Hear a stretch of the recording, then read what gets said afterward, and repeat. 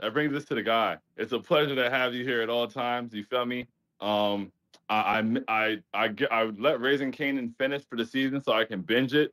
I saw a couple spoilers, unfortunately, uh, but you know, it's Mr. Power After Hours himself. It's the guy. Jeff, talk to us, brother. What's going on? How you feeling?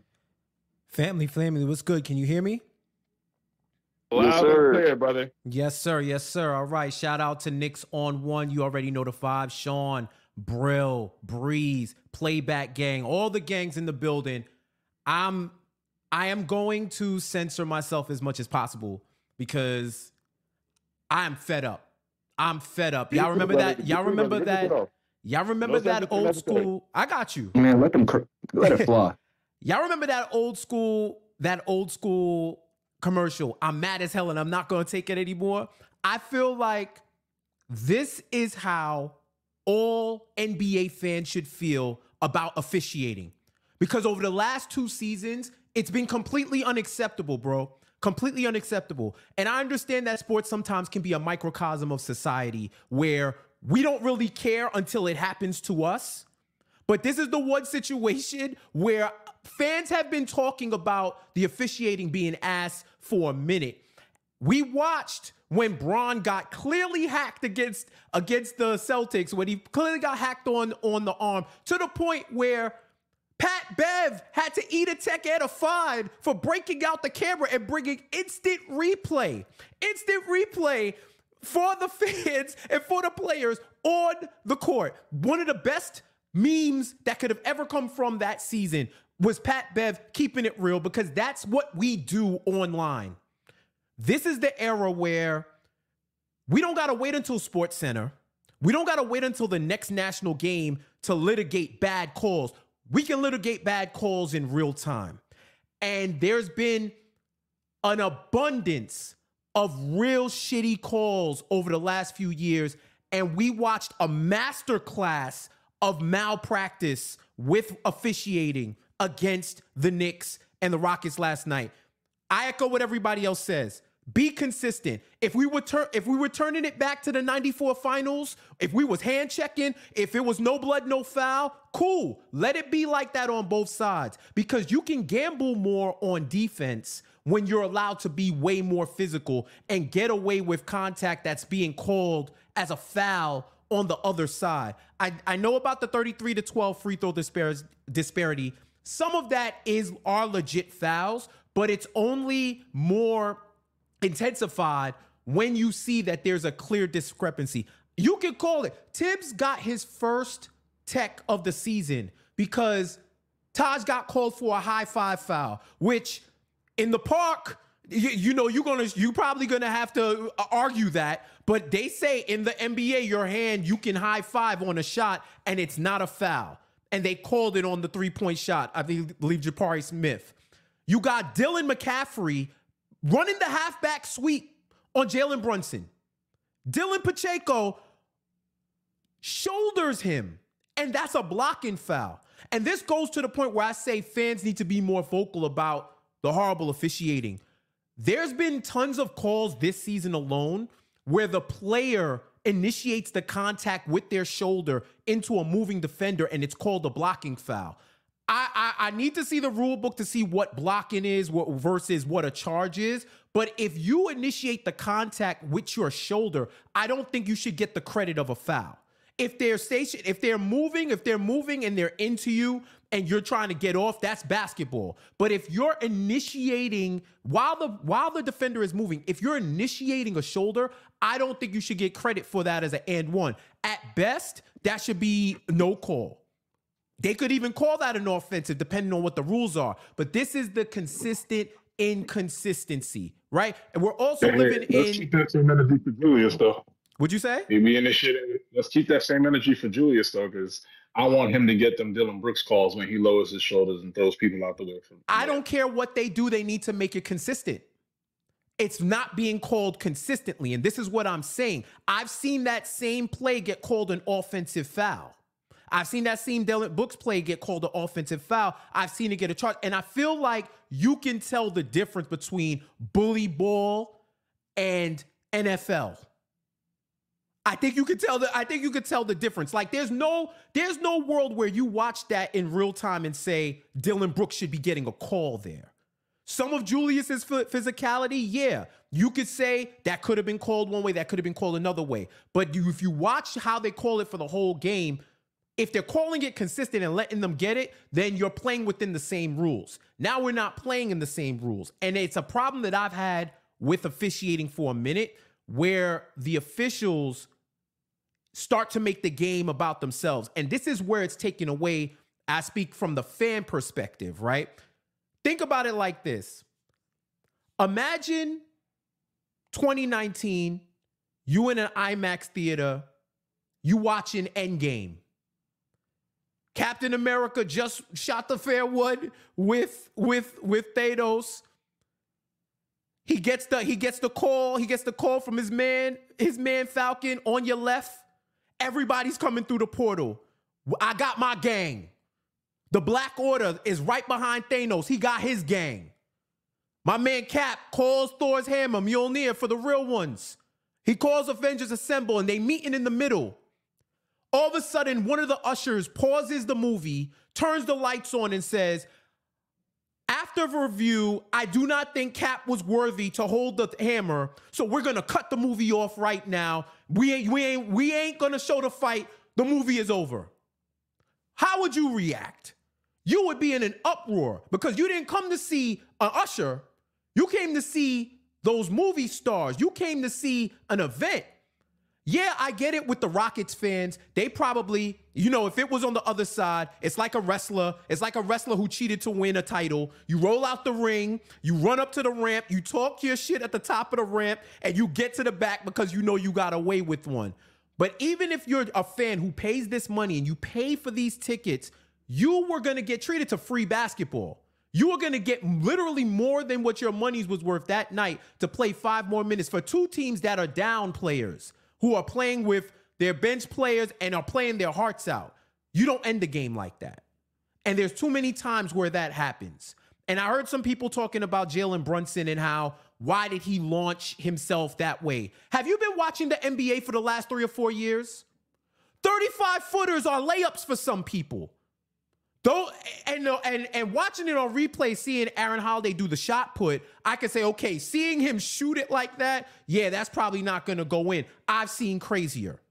And when you look at what Ed Malloy said in his last minute report, Jalen Brunson did what he had to do. The only reason why it even looked crazy, quote unquote, is because Aaron Holiday made unnatural moves with his entire body. I know him, he probably pop lock and do all of that stuff. He probably wanted them dancing. He'd a dancing Holiday because the way he had that body control to, to stiff arm Jalen with his offhand, to move his legs to the side, and to make that incidental contact land both of them landed comfortably. Jalen didn't land in, in his in his landing area, and he was able to backpedal all with maintaining his balance.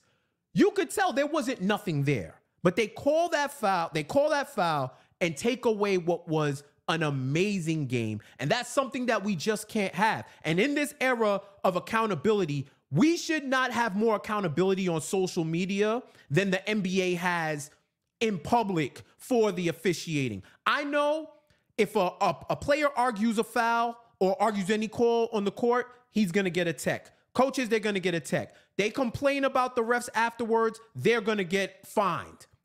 And I understand it's part of you don't want them to manipulate the refs. Ironically, you don't want them to manipulate the refs because you don't want to skew outcomes of games, but they're doing it all their own. And we don't know. Like I know people who who are actual NBA officials and they say there is a disciplinary action. There are fines. There are I heard Steve Javie on on Bart and Hahn where he said their pay is effective because if if you if you're having a bad game as a ref or if you're a bad ref, you're not going to be put on for the playoffs, you're not going to be put on for the finals and those. So that is where their corrective action takes place, but the average fan doesn't know that. I think there needs to be transparency, there needs to be accountability because then you start to spark fans' theories and speculations over what the hell is going on, especially when you have these leagues that are now partners with sports betting. Let's just call it what it is. People been saying games are, rigged for decades before you could just click on an app and start betting and live betting and doing all types of betting from from the comfort of your own home. So when you have this specter of gambling partnered and officially affiliated with your with your sports leagues, you do have a right. It is it is incumbent upon you to make sure things are on the up and up. And I'm not and, and I'm not going I'm not speculating. I'm not I'm not insinuating. I'm telling you what the speculation is from fans in general. I I watch, I'm on gambling Twitter. I watch when someone ain't credited for a rebound, and you see, you would have thought Teg got got all his cousins and an army of people on here letting letting the clips fly, letting the clips fly about about you see he grabbed the rebound. How is that recorded as a team rebound? Because guess what? Everybody's involved and everybody's making money. So that is shifting. That is shifting a lot of money changing hands. And they're putting pressure on statisticians, the NBA, these sports books, everybody. Because affect this is affecting the outcomes of the games and this is affecting it financially and competitively. Because let's let's be real. We're not gonna care about this game after the All-Star break, once once once the team gets back together and everybody's 100%, we may not care about it, but we may care about it in April if uh, uh, uh, the difference between two seed and three seed, or three seed and four seed, or four and, uh, or five and six is one game, and it was the one game that got decided by the zebras and not by the players on the court. These are the type of things when you start affecting the competitive landscape, because you know you you you bet your money, you lose your money, whatever. I don't have that much. I don't have that much like sympathy for you, although I do believe oh, I it should be money. credit. I thought you about to say money, Jeff. Don't do that. Don't do that, Jay. Don't do that. I see your I see your I see your profile pic, brother. Your your you got a Ginsu Sharp hairline, that's money. That's at least 50. That's that's that damn, I didn't know the prices went up like that. That's when you start patting your pockets like Usher in the um the Super Bowl, you start doing the Usher Super Bowl dance. Like let's not do that. And it's in black and white. We're not to do that. We're not gonna do that. I told you, man. We we we not we not ringing you up. I didn't want to ring nobody up today. Why you think why you think my brother Short ain't here? He knew the ring up was here. So so so money man, money man Jay, let's not do this. Let's not do this. Hey, bro. Man, Manscaped is a hell of a product. That is all I will say. Uh, look, look, I get it. I get it. I get it. I get it. And when you have your butler giving you a lineup, Alfred never did that for Bruce. Alfred never did that. Alfred did everything. Alfred, Alfred bust guns for Bruce. He ain't give him a lineup. So that you it's different. It's different for you, bro. I, I tip my cap. I tip my cap, bro. I tip my cap. Uh, salute to you. But yeah, man, at the end of the day, I'm not worried about the Knicks. I'm I it's hard for me to analyze these games when they're playing with a triage squad. At this point, these are all like simulations to see where where these players are going to fit in when they get the whole squad back. So I'm not really worried. I think you got to get when when Donte DiVincenzo's leaving a game with an apparent hamstring injury, when you're playing with with uh bare bones squad, that's when I said the minute he went out, I said we got to get this game. The Knicks got to get this game because now it's costly. Like, like if, if they would have lost that Memphis game when when Jalen turned turned his ankle, now it's double, it's compounded. I would have rather them lost it on the court, but it makes it even worse when they lose it. They don't even get the opportunity to go the five more minutes to see who was the best that night. The, the, everybody in that arena got robbed. The fans got robbed of an awesome game, and you know it's bad when the consensus around national media, local media was that it was the worst, not just a bad call. They calling it the worst call they've ever seen. And we've seen some bad calls across sports. Across sports, man. So we're not wilding. I think if you if this is a game where you want to talk about the referees cost the game, this is a prime example. I don't think anybody will anybody will make fans feel bad about it. And if they do, just check their check their tweets, check their social. I'm sure there's a game where they will they you know everybody's I'm not a ref person until you're a ref person. And they and it goes against your team. That's the, the, it, it is the most cliche thing. I don't even say that anymore. If I got something to say about the refs, I'm gonna say it about the refs because it's tangible. If you if a ref listen, that call against Jalen Brunson, if that was in the park, we'd either be shooting for the ball Somebody would be shooting the fair one, or they shooting, made you look. It's so there was only, there's only three options for calling that type of foul, especially if the game is time tied and it's you're playing like straight 21 or straight 25. There's only three options, or y'all gonna argue and somebody gotta go home because they know they gotta be home before the lights go the lights come on because they're gonna get they, it's gonna get crazy when the parents come outside and, and start to embarrass you and, and tell you you gotta you gotta come home right? Like this is this is the type of stuff that i'm talking about and i just hope like at, at this point i'm like joe the knicks just gotta get to the all-star break. They gotta hop in the hyper they gotta hype in the back to tanks they gotta hype in the, the hop in their hyperbaric chambers and everybody just get healthy because it's all sweet now for the league when the Knicks don't have their whole squad, but everybody's coming back and the order is going to be restored, in my opinion. I just hope they don't lose as much ground as they as they built up. That 14 and 2 run was way more important than I thought it was going to be a month ago because they they have succumbed to the injury bug. But I don't think it's going to be a problem. I just hate investing my time in games for them to end in that way.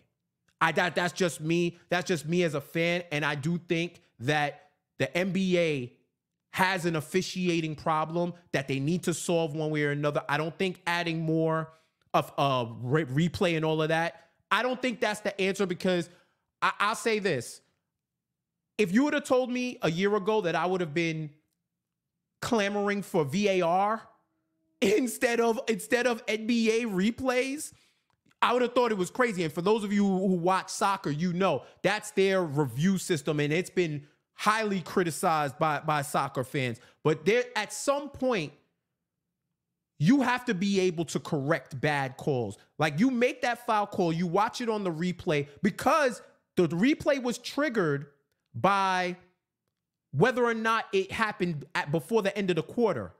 You see that it's a bad call and say, well, we they don't got a challenge, so we move.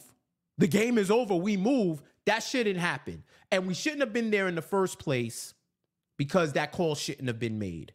And, it, and I think it's actually insane that people are starting to put try to put uh, dots together with this global dude and how he you can't even say you can't even say this is like highway robbery because apparently he's police. Apparently he's police. And, and, and I'll wrap this all up by saying, Sean, guess what his favorite show is? I'm scared. Oh my goodness. Yeah, if the answer is in the question, guess what his favorite show is?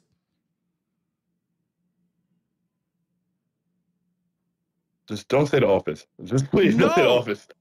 Think about it. We how did we start off this and how did we end this? No way. It's this power. It's power. His favorite show mm. is Power. Nah. So I can understand why some crazy shit happened at the end of the game. This man likes drama. This man likes the like, like stuff that happens that you don't you don't see coming. Eh, him and Courtney Kemp must have been in the booth like, yo, this about to be flames. Watch, watch. New York is gonna turn up. I got, I thought 50 was gonna narrate at the end or something like that. Like this at this point, that dude, I do not want to see. I only want referees that got hairlines officiating Knicks games from this point forward. If you're balding, no shots. No shots, my, my brothers out there. Like, yo, I, I I feel y'all in the struggle. I support y'all. But no, you gotta have a hairline to call the games from this point forward. If you don't got a hairline, if you're not intact, if you if you're not doing something like like wear wear a headband, something. I don't want no more bald refs officiating Knicks games from this point forward, and especially not bald ref fans that watch power because he must have he must have been messed up after raising Kanan, and he was, was still been crazy. It must have still been crazy. So yeah, man, more transparency. Be aware because right now, Adam Silver, your product is your product is starting to be stepped on. Your, your product is stepped on right now. Your product is, is getting A Town stomped on. So if you care, something, something needs to be done. Shout out to Knicks on one. I appreciate y'all. Love to everybody else. Jay Nikki, let me hold twenty dollars because I know that's like twenty cents to you. Yeah, I just I just want to get lunch. You know Uber Eats be going crazy, my brother. Salute to y'all. Peace. Hey man. Hey bro, don't the company you work for got an app? don't the company you work for got an app? Damn. a Oh, I bro. love it. I love Yeah, it. nah, I don't- Jay, hey, why no, you no, go no, that no, way? no, Why no, you go that I'm, way? I'm a contractor. I don't listen. It's I a lot of stammering. I don't have It's a app. lot of stammering for a yes or no question, my brother. I, I, I, I, I, I, don't have an Jeff, where the I work for myself. I don't have an app. Hey, he, he wasn't ready for you to return serve like that. Yo, Oh, I, he was.